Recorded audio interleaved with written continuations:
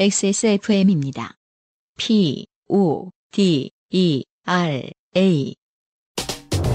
한국임업진흥원에서 발급한 합격증이 차! 산양산성, 산인산. 어, 우리의 첼트넴 지부장. 음. 첼트넴이 어디 붙어 있는지 모르셔도 됩니다. 해무로 끝나는 걸 보면 대충 저기 있겠죠. 영국이겠죠? 네. 네. 차영재 씨 오랜만이에요. 안녕하세요. 첼트넴에 사는 차영재입니다. 저는 만 15세 쌍둥이 아들이 있습니다. 다행히 둘이 같은 학교를 다니고 지난 주말에는 학교에서 하는 프로그램으로 백패킹을 떠났습니다.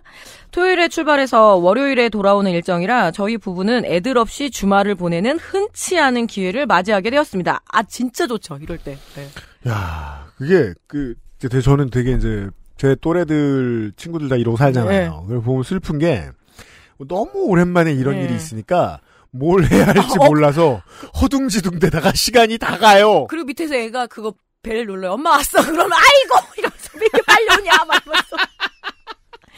어쩌지? 이러고 있어요. 아우, 저는- 슬퍼! 우리 둘째가 진짜 오랜만에 이 수학여행을 가게 된 거예요. 초등학교 때 음. 이제 뭐 우리가 이제 세월호 관련해서 문제가 있었으니까 네. 아무데도 그런 거 못했는데 갔는데 경주로 간 거예요. 그래서 음. 보내놓고 이제 막 신나가지고 아 이제 뭐 좀 하지 뭐 좀 하지 그랬는데 거기 지진이 나서 하루 만에 돌아온 거예요. 맞아요, 맞아요. 그래서 아왜 지진은 왜 하필 거기라고 막.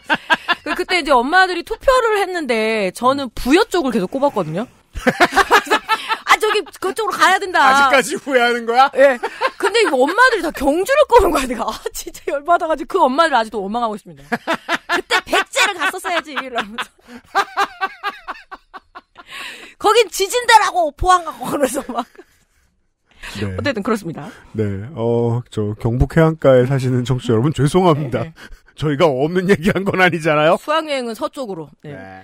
네. 무엇을 할까 고민하다 맨체스터의 아내가 좋아하는 정원 박람회도 있고 제 친한 친구도 살고 있어서 맨체스터에서 1박을 하고 집에 돌아오는 길에 픽, 픽 디스트릭트라고 있나요? 예, 픽 디스트릭트 국립공원이라는 예. 데가 있나 봐요. 아, 셰필드하고 그렇구나. 맨체스터 사이에. 거기에 등산을 하기로 했습니다. 음. 토요일 아침에 애들을 백패킹 시작, 시작 장소에 데려다 주고 저희는 맨체스터로 향했습니다. 사건은 그 다음 날 아침에 있었습니다. 저희는 미국 브랜드의 레지던스 호텔에 묵었었는데 그래서 그런지 호텔에 미국인들이 많았습니다. 이거 참 신기하지 음. 않습니까? 꼭 그 일본인들은 롯데 호텔 가요. 아, 그게 익숙한가? 그러면은 미국 사람들이 힐튼 이런 데를 가는 건가? 그럴지도 모르겠어요. 제가 그게 그럼 우리는 조선 호텔 가야 돼?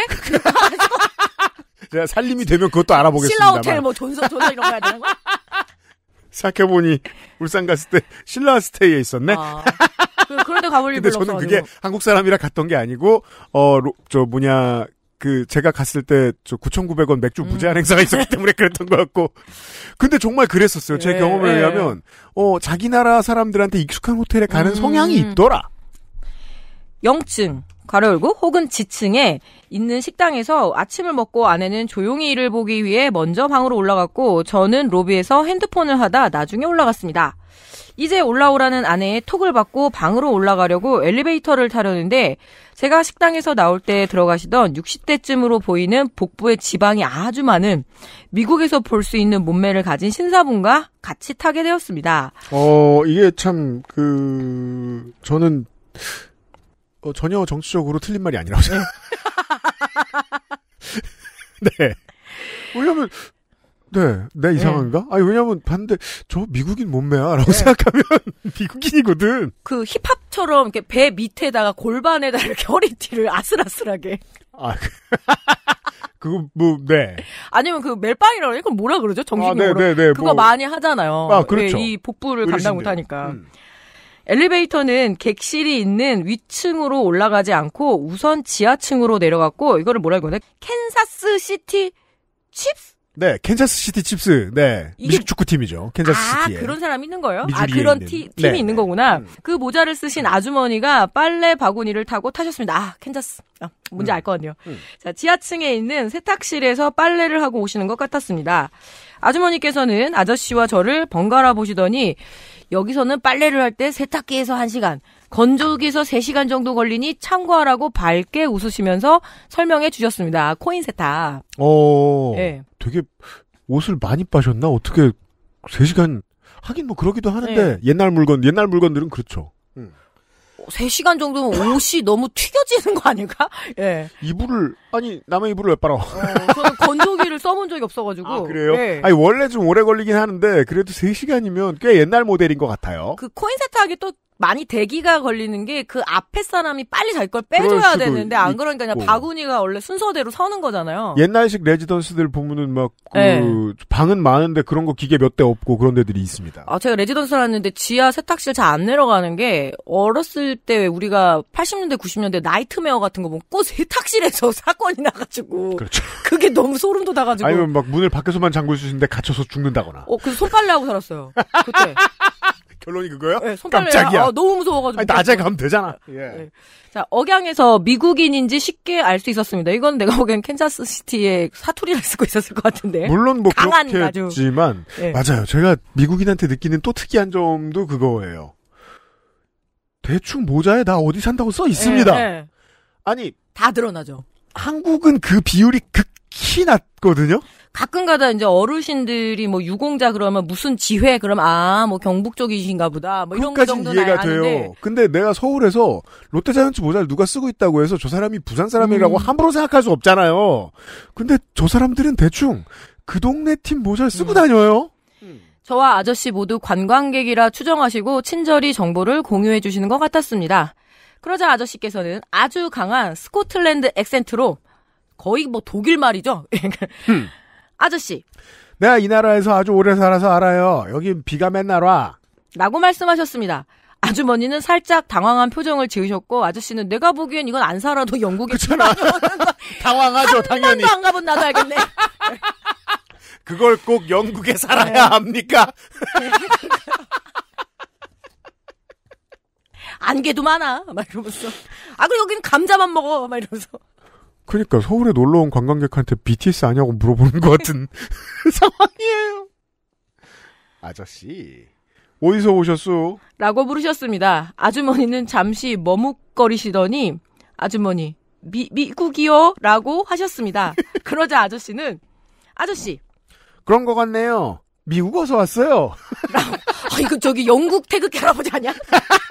자, 영국의 자본주의는 끝나간다 이러면서 윤현재 할아버지. 영국의 자본주의는 어. 끝나간다. 막스의 묘지가 영국에 있지 막 이러면서 엥겔스가 영국 남자야 이러면서 라고 다시 물어보셨습니다. 아주머니는 살짝 좀 더 당황하시더니 모자를 가리키시며 아주머니 보시다시피 캔자스 시티요 라고 답하셨습니다. 그리고는 서로 쳐다보시며 2초 정도의 정적이 있다가 아저씨께서 갑자기 아저씨 이걸 이건 그냥 원어를 썼습니다. I like Trump라고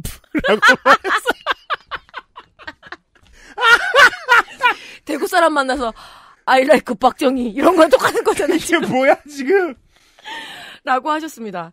저와 아주머니는 아무 말도 못하고 아주 당황- 오세요. 1호선. 저 서울에는 1호선이라는 데가 있어요, 아주머니. 예, 영국 아주머니.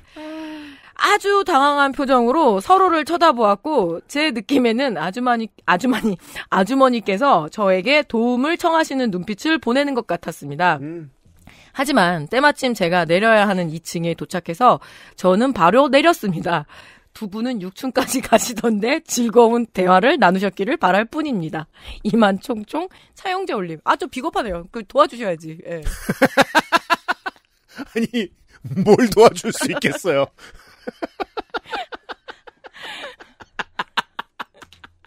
근데 이거 되게 정석이네요. 날씨 얘기를 먼저 한다. 네 분위기를 본다. 그리고 난 다음에 이제 상대에 대해 묻는다. 예. 예. 태극기를 꺼낸다. 태극기를 꺼냈다. 세 개잖아요. 태극기, 성조기, 이스라엘기. 어제 예. 원래 그때 원래 어 가실에서도 한번 얘기한 적 있잖아요. 어 미국에 오래 사신 박근혜 지지자는 트럼피 예.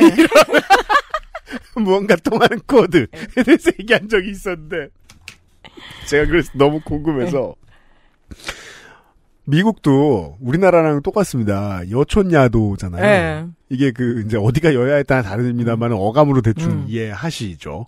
초는 공화당, 도시는 민주당이에요. 그래서 제가 궁금해서 어 캔자스시티는 캔자스주와 미주리주 사이에 있고 보통 미주리주입니다. 네. 동네를 다 봤어요. 미주리주나 캔자스주나 시골은 다 빨간색이고 캔자스 시티는 다 파란색이에요. 네. 바이든이 60% 넘게 네. 이겼습니다. 아주머니의 표정을 대충 이해할 수 있습니다. 그래서 대구 문제가 아닌 거예요, 네. 이게. 예. 자, 차영재 씨의 이야기였습니다. 어, 정말 이렇게 갈 줄 몰랐습니다. 자, 태극기 할아버지에 이은, 어, 윤현재 할아버지 이야기였습니다. 차영재 씨 고마워요.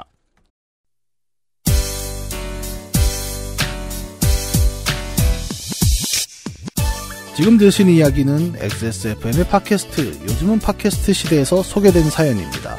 여러분의 인생 이야기로 꾸며지는 국내 최장수 예능 팟캐스트, 요즘은 팟캐스트 시대는 아이튠즈와 팟빵, 그리고 지구상에서 서비스하는 다수의 팟캐스트 플랫폼에서 만나실 수 있습니다. 당신도 참여할 수 있습니다. 사연을 보내고 당신의 이야기를 저희와 나누고 싶다면 우선 저희 방송을 들어보셔야겠죠. 한국 시간 매주 화요일 오후 5시에 업데이트되는 요즘은 팟캐스트 시대를 검색해주세요.